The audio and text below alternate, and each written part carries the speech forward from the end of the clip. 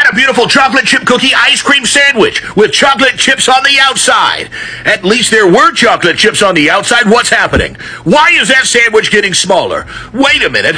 No, not again. You're not going to uncream my ice cream, Jeremy.